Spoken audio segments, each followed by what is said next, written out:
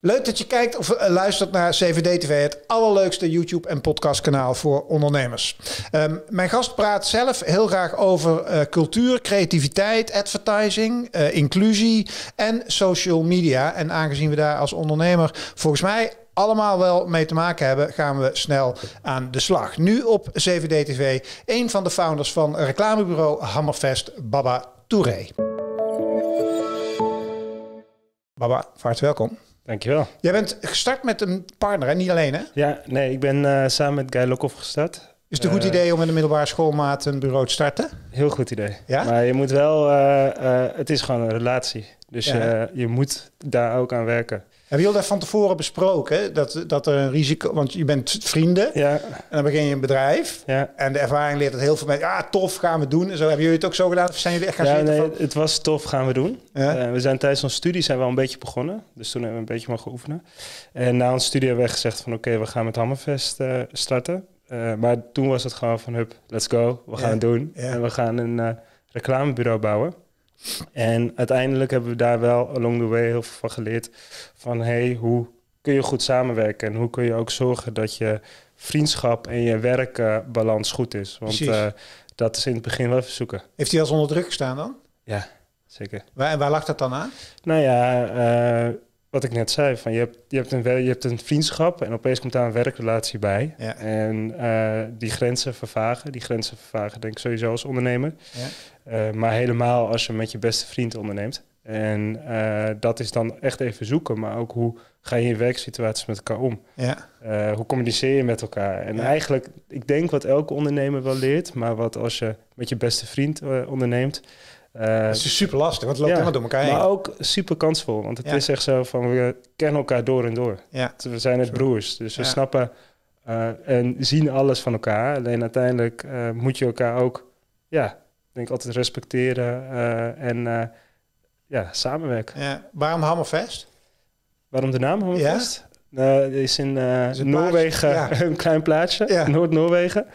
En onze metafoor is dat daar eh, ijsbrekers komen die het ijs breken voor andere schepen. En wij breken het ijs voor andere merken.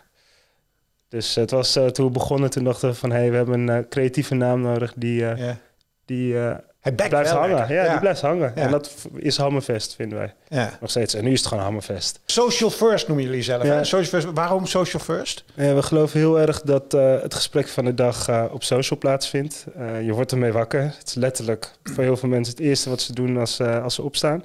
En het laatste wat ze doen voordat ze gaan slapen. En social first betekent bij ons dat we altijd beginnen bij de social kanalen. Dus dat is eigenlijk ons startpunt van denken. En vanuit daar ook andere middelen erbij, eh, andere mediakanalen erbij eh, kunnen betrekken. Dus dat is Ja. eigenlijk ook een beetje een, een echt, echt een andere benadering als wat ooit het klassieke bureau denken was. Van we beginnen met een groot idee en Ja. vaak een above the line gewoon dikke campagne. Ja. En dan rollen de rest van de middelen eruit. Nou ja, kijk, wat je vaak ziet is eh, eh, dat de traditionelere bureaus of traditionelere benadering vaak begint bij tv. Dus oké, we beginnen met de campagne, we hebben tv-sport en Ja. vanuit daar komen de andere middelen. En wat wij doen is wij zeggen van hé, hey, die aandacht vandaag de dag zit op social. Wij beginnen op social en vanuit daar kunnen we altijd kijken hoe we een campagne kunnen versterken door andere kanalen. Want daar geloven we ook echt in. Sommige eh, mensen uit het vak die zeggen dan van ja, maar als je echt bijvoorbeeld een nieuw merk hebt en je wil zorgen dat het heel snel bekend wordt, dan moet je gewoon rammen op tv. Ja, dat, is, dat kan nog steeds een goede optie zijn. kan, maar Dus het het is, is, is eh, het niet noodzakelijk, zeg jij. Het hoeft niet per se. Het kan wel. Eh, het hangt er vanaf ook wie je wil bereiken. Dus wij geloven heel erg in communities. Ja. En als jij een community hebt die heel erg eh, gefocust is op tv... of waar tv nog... Ouderen bijvoorbeeld. Nou, bijvoorbeeld. Ja. Alleen er zijn er wel meer. Als jij eh, eh, een voetbalgerelateerd product hebt... en eh, kan zorgen dat je in, de, in het reclameblok... eh, tijdens Ajax Benfica zit... Ja. dan eh, zit je goed. ja, dan zit je goed. Ja, Kun je eens een paar accounts noemen of klanten, of hoe noem je dat? Accounts, klanten? ja accounts. Ja, waar, waarvan je zegt, oh, die zijn wel typerend voor hoe wij werken. Ja, we zijn eh, sinds kort voor Zalando aan de slag. En Zalando die heeft eh, wel ook echt een social first benadering. Nou ja, Omroep Zwart eh, heeft een social first benadering. Dus daar is social de kern eigenlijk van. Waren waar jullie het, daar eh, echt het omroep is bureau? Een van de bureaus. Oké. Dus we hebben dat met een stuk of vier, vijf bureaus gedaan. En wij waren verantwoordelijk voor het social eh, gedeelte. Succesvol, hè? Ja, Ja, om een bruggetje te maken naar een thema. Ja. Uh, want uh, toen ik, je, want jullie profileren je ook heel erg als een bureau waar diversiteit en inclusiviteit eigenlijk een onderdeel van DNA is, toch? Ja. Dus wat ik altijd zeg is van bij ons is het geen agenda-item, maar zit in de core van wie we zijn. Het is ook een van onze core values. Alleen het heeft ook gewoon mee te maken met de persoonlijke ambitie dat ja, de wereld moet wat inclusiever worden. Ja. En dat geloven we ook als bedrijf. Dus het zit ook in de missie van ons bureau. En vanuit daar dus ook wel streven we naar een divers team en gebruik maken van alle perspectieven die er zijn. En dan past een klant als Omroep Zwart natuurlijk, dat is dan bijna Ja. een ideale klant, zeg maar. Ja, dus zeker. om daarmee, dat is een soort symbiose, die is natuurlijk perfect. Ja, dat was gewoon, dat was eh, eh, toen we daarover hoorden en eh, eh, door Aquasi en Johnny gevraagd werden. Toen hoefden we daar niet, bijna niet hoefden we eigenlijk niet eens over na te denken. Ja. Maar je wist gewoon direct van, hey, dit, is, dit, dit sluit gewoon precies aan op de missie die wij hebben als, eh, als Hammerfest. We- Weigeren jullie ook klanten eh, vanuit die optiek? Ja, we hebben wel eens een klant geweigerd.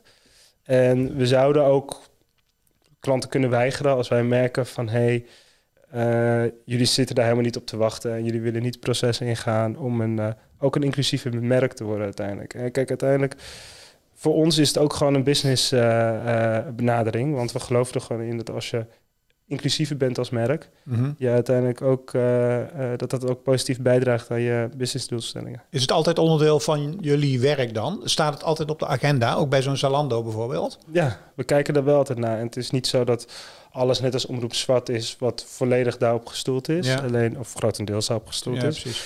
Alleen in al het werk dat we maken, zit dit wel, is, is het bij ons wel een agendapunt dat we kijken van hey, wat voor werk maken we en wat voor impact maakt dit uiteindelijk op de samenleving, op de mensen die we zien. Helemaal wetende wat de kracht is van communicatie op de manier nou ja, hoe wij met elkaar omgaan, hoe we naar onszelf kijken. Ja. Dus als je dan eigenlijk eh, met elk stukje content die je maakt, of met elke campagne die je maakt, daar invloed op kan uitoefenen op een positieve manier, eh, is dat natuurlijk heel mooi. En tegelijkertijd, we werken voor de staatsloterij ook, kun je ook gewoon een staatsstad verkopen. En je ziet dat sowieso bij veel internationale eh, bedrijven, eh, ook de grotere bedrijven, daar zit het echt op de agenda. Ja. Want die weten, die realiseren zich van hé, hey, we moeten inclusiever worden in onze communicatie en we moeten inclusief zijn in onze communicatie.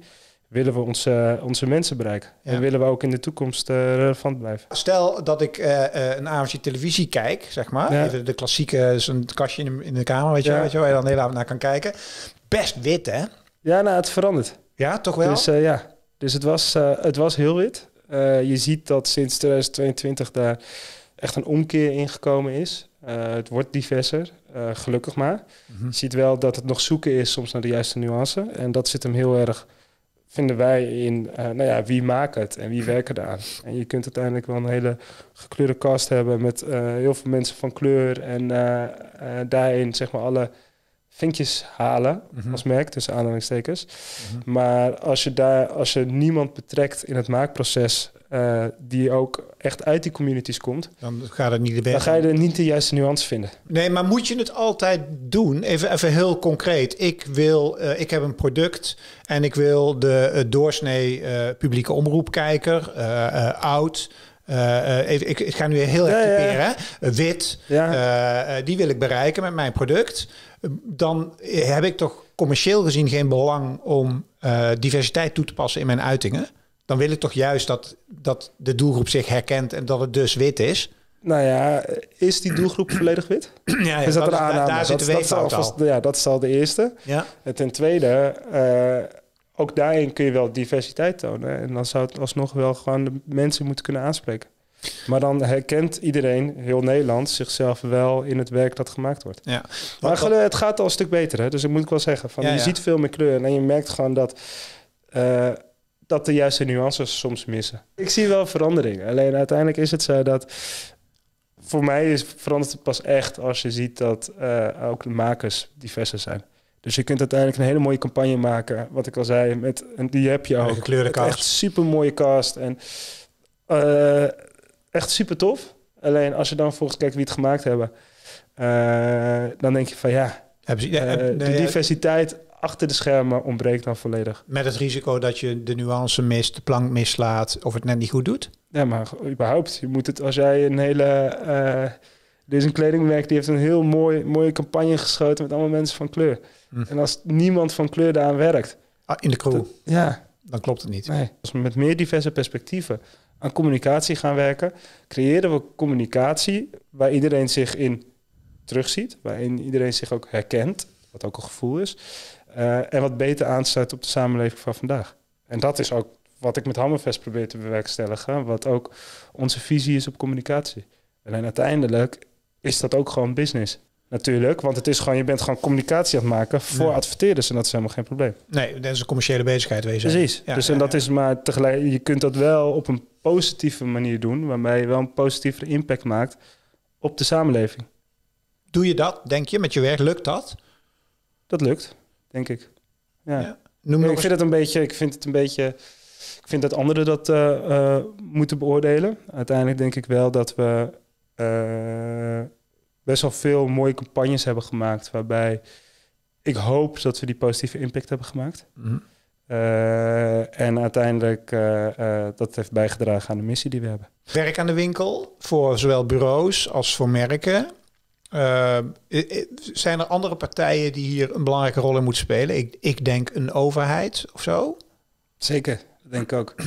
Dus ik denk sowieso dat de overheid ook een stukje diverser kan. En dat is. Zo. Er zijn wel, nee, maar er zijn wel ook de laatste keer nu wel mooie stappen in gezet. Als we Eh, kijken naar mij. vrouwen en gekleurde mensen. Ja, alleen ik denk dat daar nog ook veel stappen in te maken zijn. Mhm. Ehm, en eh, ik denk zeker dat de overheid daarmee te maken heeft. Jij bent nu zes jaar bezig met je bureau, hè? Zeven jaar. Zeven jaar. Ja. Hoe groot zijn jullie? We zijn nu met 32 mensen. Wat zijn je ambities? Onze ambitie is om. Nou ja, dat is, dat is leuk dat je dat vraagt. We zijn nu. ehm, eh, ik verwacht dat we dit jaar doorgroeien naar ongeveer 40 mensen. Eh, vervolgens willen we vooral een goed bureau zijn. Dus uiteindelijk niet per se de focus op alleen maar zo groot, zo groot, zo groot mogelijk. Ja.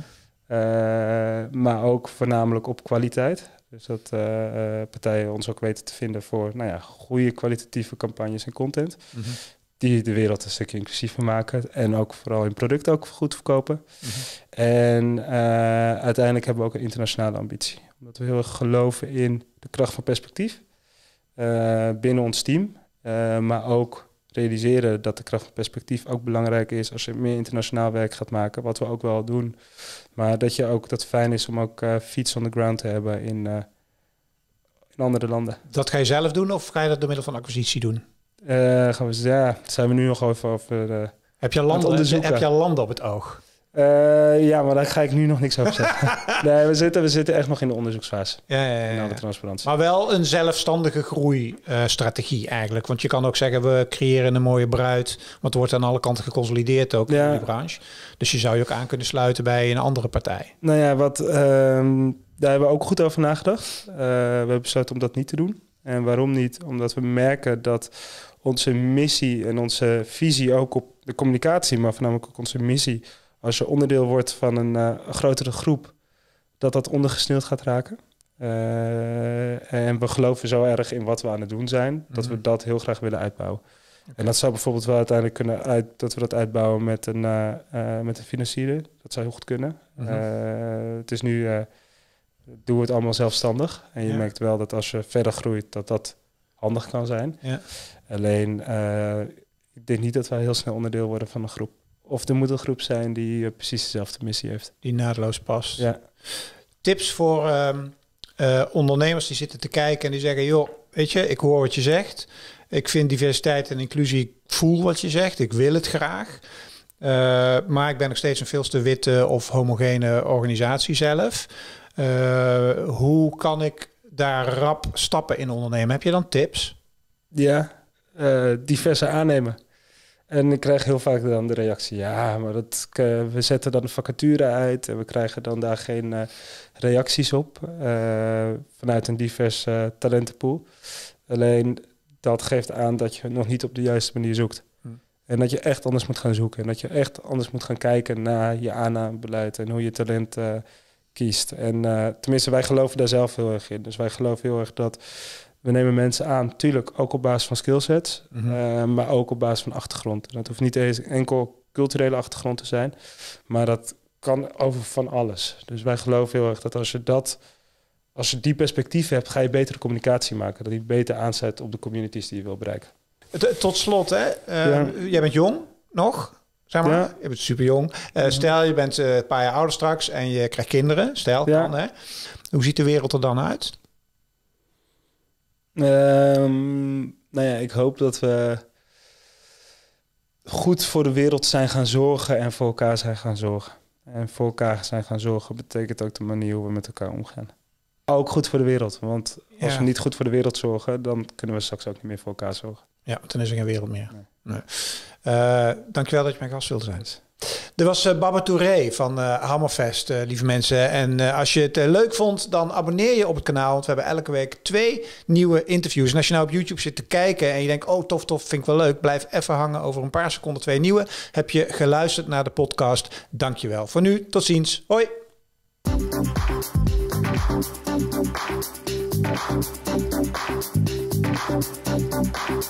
Thank